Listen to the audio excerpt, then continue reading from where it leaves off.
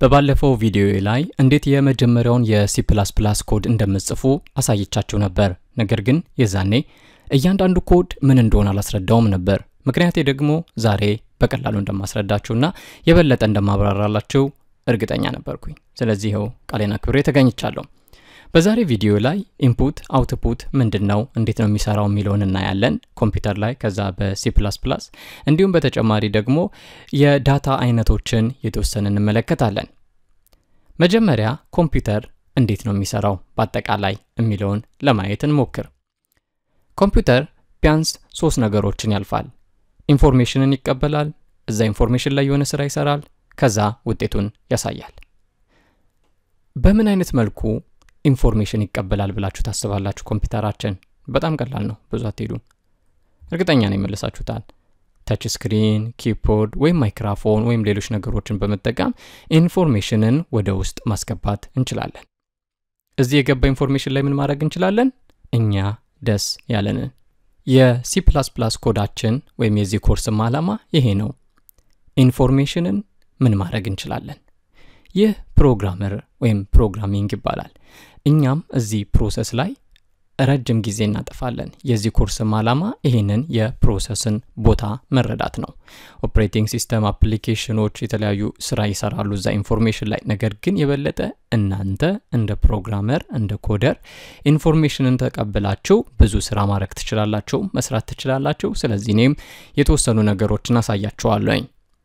ያ ኮምፒውተራችን ደግሞ የተለያዩ ስራዎችን application ኦችን ተጠቅሞ ከጨረሰ በኋላ ያንን የጨረሰውን ነገር ደግሞ መልሶ ይመልስልናል። በምን አይነት መልኩ ነው የሚመልስልን? በብዙ አይነት መልኩ monitor ላይ ሊሆን ይችላል፣ ቪዲዮ ከሆነ speaker ሊሆን ይችላል፣ ድምፅ ከሆነ ወይም የተለያዩ ወረቀቶች ላይ print በማድረግ data ን ይመልስልናል ማለት ነው። ታዲያ እኛ በዚህ ኮርስ ላይ ምን አይነት ነገሮችን እንጠቀማለን? መጀመሪያ ላይ የምንወስደው keyboard አለን። ከዛ እናንተ እንደ programmer process ኡን ትቆጣጠራላችሁ። output ኣችን የሚሆነው ደግሞ monitor ላይ ይሆናል። ስለዚህ የቱ ጋር እንደቆምን አሁን አውቀናል ማለት ነው። ይህን ያህል ስለ ኮምፒውተር ካወራን ደግሞ ስለ C plus plus እንጀምር ማውራት። C plus plus input ና output አለው። እሱ እኛ ራሳችን ተጠቅመን እኛ በራሳችን መንገድ ከኮምፒውተራችን መቼ information እንደሚቀበል መቼ እንደሚያወጣ መወሰን እንችላለን። ያንን እንዴት ነው የምናደርገው? በጣም በቀላሉ ባለፈው እንዴት የ cout ወይም ደግሞ የ C plus plus ኮድ information እንደሚያወጣ አሳይቻችሁ ነበረ። cout የሚለውን ኮድ ተጠቅማችሁ የ input ኡስ ምን ይመስላችኋል? ለ output cout ከሆነ information ን ለመቀበል input ለማድረግ ምን ይመስላል? በጣም ቀላል cin ብለን ነው የምንጽፈው። አለቀ። cout cin። ለምን እንደዚህ ቀላል እንደሆነ ከሰከንዶች በኋላ እነግራችኋለሁ። ይህንን ከጻፋችሁ በኋላ ደግሞ cout ከሚለው ጋር አብሮ የሚሄድ ምልክት አለ። ይቺ ምልክት ማስታወስ ይጠበቅባችኋል። cin ከሚለው ጋር ደግሞ ተቃራኒዋን ትወስዳላችሁ። እነዚህ ሁለቱ እናንተን ግራ ሊያጋባችሁ ይችላሉ። ነገር ግን ኮድ ስንጽፍ Visual Studio ያግዘናል የትኛው የትኛው ነው የሚለውን። ስለዚህ በቃላችሁ ብትይዙት ይመረጣል። ባትይዙትም ግን እዛ ድረስ አስቸጋሪ አይደለም ኮድን ለመጻፍ። ባለፈው ቪዲዮችን ላይ የ cout ወይም የ output example ን አይተናል። ምሳሌን cin ምን እንዴት አይነት ነው ብላችሁ ታስባላችሁ? እርግጠኛ ነኝ ትገምቱታላችሁ። ምንም አይከብድም። ነገር ግን እቺ በቀላሉ የተጻፈች ኮድ እጅግ በጣም ውስብስብ የሆነ ነገር ከጀርባው ያካሂዳል። እኛ information ን ለማሳየት ለማስወጣት cout ለመቀበል cin ብቻ ነው የጻፍነው። እቺ ጥቂት ቃላቶች እንዲሰሩ ያደረገልን ደግሞ library አለ። ከዚህ በፊት ሌሎች programmer ኦች ቁጭ ብለው ረጅም ሰዓት አጥፍተው የጻፉት ኮድ አለ። ይህንን ኮድ ስለምንጠቀም ነው። ይህ ኮድ ደግሞ የሚገኘው እዚህ ጋር ነው፣ iostream የሚባለው ጋር።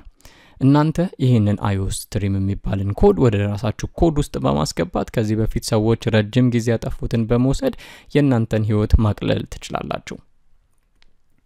ይህ ደስ የሚለው የኮምፒውተር part ነው። የሌላን ሰው ስራ እናንተ ጋር በማስገባት አንድ ላይ ማስቀጠል ትችላላችሁ። ስለዚህ መጀመሪያ ኮዳችሁ ላይ include iostream፣ IO ማለት I input፣ O output፣ stream። ስለዚህ include iostream ስትሉ የእናንተ ፕሮግራም input ንና output ን ይጠቀማል። በእኛ ጊዜ ደግሞ keyboard ንና screen ን እንደምንጠቀም ለኮምፒውተራችን እየነገርነው ነው ማለት ነው። ነገር ግን ማስወጣት information ቀላል ነው። ምክንያቱም ኮምፒውተራችን ላይ ያለ የምናውቀውን ነገር ነው። በእኛ ጊዜ እዚህ ጋር ምሳሌያችን እኛ የጻፍነው ጽሁፍ ነው። ኢንተርቪው ኔም ስንቀበልስ ምንድን ነው የምንቀበለው? ፎቶ ነው የምንቀበለው? ቪዲዮ ነው የምንቀበለው? ጽሁፍ ነው? ቁጥር ነው? የምናውቀው ነገር የለም። ስለዚህ information ወደ ውስጥ ከመቀበላችን በፊት ምን አይነት data ምን አይነት information እንደምንቀበል ማወቅ አለብን። ስለዚህ በተወሰነ መልኩ የ C data አይነቶችን ማወቅ ይጠበቅብናል። በትልቁ የ C data አይነቶች በሶስት ይከፈላሉ። እኛ ከእነዚህ ውስጥ ቀስ እያልን ወደፊት ሌሎቹን እናያለን። ነገር ግን ዛሬ እኛ የምናተኩረው built-in የሚለው ላይ ይሆናል። derived የሚባሉት እነዚህ derived የሚባሉት የ data አይነቶች built-in ላይ ተመስርተው አንዱን አንዱ ላይ አንዱን ከአንዱ ጋር በማቀናጀት የተከሰቱ ናቸው። ስለዚህ ስለ እነሱ አሁን ላይ ብዙም አናወራም፣ just እንድታቋቸው ብቻ ነው የነገርኳቸው። ሌላኛው built-in ይባላል። built-in data type እኛ በአብዛኛው ጊዜያችንን የምናጠፋበት ነው።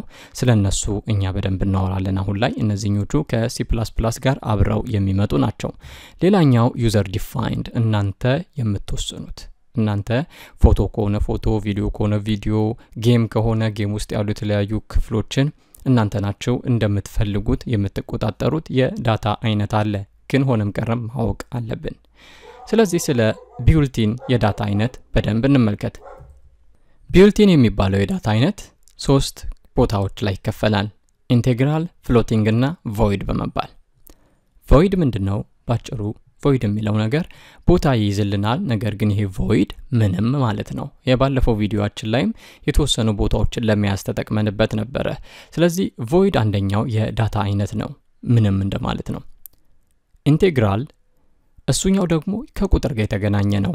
እሱ integral ለሁለት ይከፈላል፣ char እና ወይም character፣ int integer በመባል char char እናንተ እንደምትፈልጉት ጥሩት። እኔ char ነው የምለው። ይሄ char ስሞችን ለመጻፍ ወይም ፊደሎችን ለመያዝ ያገለግለልናል። ABCD የሚሉትን ወይም ወደ በፊት የምናየው ነገር አለ የአማርኛ ፊደላቶችን፣ ቁጥሮችን፣ የተለያዩ ምልክቶችን፣ ጥያቄ ምልክት፣ ቃል አጋኖ ምናምን የሚባሉ ነገሮች ሁሉ በአጠቃላይ እዚህ ውስጥ ይካተታሉ። char ወይም char character ውስጥ። integer int የሚባለው ደግሞ ቁጥርን ነው መቁጠሪያ ቁጥሮችን 0 1 2 3 ወይም በተቃራኒው በ negative አንድ negative ሁለት እያለን ነገር ግን ግማሽ የሚባል ቁጥር የለም። አንድ ሁለተኛ የለም። አምስት ነጥብ አራት የለም። integer ኦች በአጠቃላይ የመቁጠሪያ ቁጥሮች ናቸው። ከመቁጠሪያ ቁጥሮች ውጪ ነገር መጠቀም የምትፈልጉ ከሆነ አንድ ነጥብ አምስት አንድ ነጥብ ሰባት pi ምናምን የሚባሉ ነገሮችን floating number ኦችን መጠቀም ትችላላችሁ። floating point የሚባሉትን እነዚህ floating የሚባሉት ነገሮች ለሁለት ይከፈላሉ፣ float ና double። በ float ና በ double መካከል ያለው ልዩነት ለጊዜው በጣም ትንሽ ነው። float ጥቂት ቁጥሮችን ለመጠቀም ያገለግልናል። double ደግሞ በጣም በጣም ብዙ የሆኑ ቁጥሮችን ለመጠቀም እንጠቀምበታለን ማለት ነው። ብዙና ትንሽ ከነጥብ በኋላ የምታሳዩት ነገር አለ። ለምሳሌ ሶስት ነጥብ አንድ ሁለት አራት ሶስት ብትሉና ሶስት ነጥብ ዘጠኝ ስድስት ሰባት ስምንት አራት ሶስት አራት ሁለት አንድ በሁለቱ ቁጥሮች መካከል ከነጥብ በኋላ ያለውን የቁጥር ብዛት double ላይ ብዙ ይጠቀማል፣ float ላይ ጥቂት ይጠቀማል። ስለዚህ የእናንተ ቁጥር ረጅም የ mathematics ውጤት እንዲኖረው የምትፈልጉ ከሆነ double ትጠቀማላችሁ። እናንተ ግን ለቀን ተቀን ህይወታችሁ የምትጠቀሙበትን ነገር ከሆነ float ን ትጠቀማላችሁ ማለት ነው። እርግጠኛ ነኝ በጣም ቀላል ነው። እነዚህ char ፊደላቶችን ለመጠቀም integer መቁጠሪያ ቁጥርን ለመጠቀም float ና double ደግሞ መጠናቸውን ላይ በመመስረት የተለያዩ የ maths ውጤቶችን ለምሳሌ ነጥብ ያላቸውን ለማስገባት እንጠቀማለን። ስለዚህ እነዚህን ካወቅን ከኮምፒውተራችን ላይ የምንፈልገውን ነገር በቀላሉ እንወስዳለን ማለት ነው። ከዚህ በኋላ ደግሞ እንዴት እንደምንጠቀምባቸው እናያለን። ከዛ በፊት ግን እንደ ማጠቃለያ አድርገን እንመልከት። ማጠቃለያ ይኖረናል ማለት ነው በ summary ያችን ላይ ለምሳሌ እናንተ ኮዳችሁን ከመጻፋችሁ በፊት ኮምፒውተራችሁን keyboard እና screen እንደምትጠቀሙ ካወቃችሁ መጀመሪያ የምታደርጉት ነገር በእርግጠኝነት ገምታችሁታል። include iostream የሚለውን እናስገባለን። ይህን በማለት ኮምፒውተራችን የ input ና output ን መጠቀም እንደሚፈልግ እናስረዳለን። ቀጥለን ከዚህ በፊት ብዙ ያላሳየኋችሁ ነገር ነገር ግን አሁን ላይ ኮድ ስንጽፍ በቀጣዩ ማሳያችሁ ነገር variable እንዴት እንደምንገልጽ ነው። variable ማለት ከ user የምንቀበለውን data የምናስቀምጥበት ቦታ እንደማለት ነው። ቅድም እንዳወራነው char ማለት የተለያዩ ምልክቶችን የሚይዝልን ነው። ስለዚህ char ብዬ ከጀመርኩ እናንተ የምታውቁት ቀጥዬ ፊደላቶችን ለመቀበል ዝግጁ ነኝ ማለት ነው። የዚህ char መጠኑ ደግሞ አርባ ነው። የዚህ variable ስም ደግሞ user name ነው።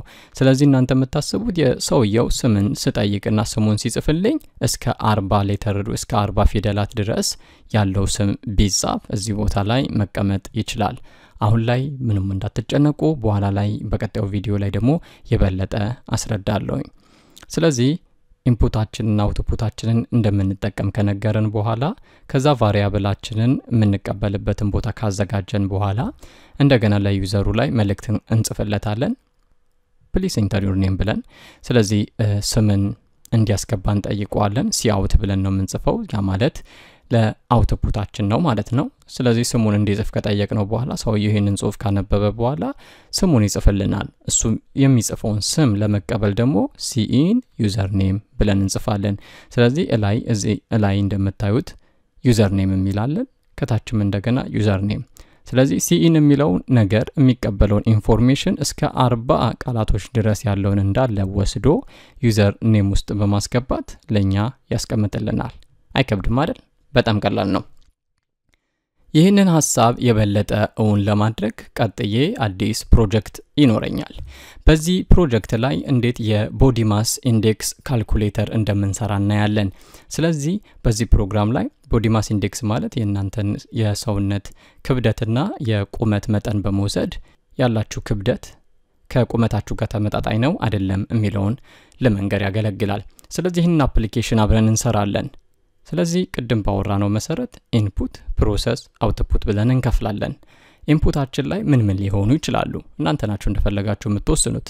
እኔ ለጊዜው ግን የተጠቃሚውን ስም እጠይቃለሁ። ከዛ የተጠቃሚውን ቁመት እጠይቃለሁ። ከዛ ደግሞ ክብደቱን። ስለዚህ እነዚህ ሶስት ነገሮችን እንደ input ነት ከ user ኡ መቀበል አለብኝ። process ኤ ምንድን ነው? እዚህ ጊዜ process ኤ mathematics ነው። የውጤቱን ለማግኘት የሰውየውን ክብደት በቁመቱ ሁለት ጊዜ በማባዛት ወይም በቁመቱ square ጋር በማድረግ እናገኘዋለን። መጨረሻ ላይ የምንመልሰው ደግሞ ውጤቱን ነው፣ የ body mass index result ኡን። ስለዚህ አሁን ላይ እናንተ ሀሳቡን የበለጠ ትረዱታላችሁ ብዬ አስባለሁ።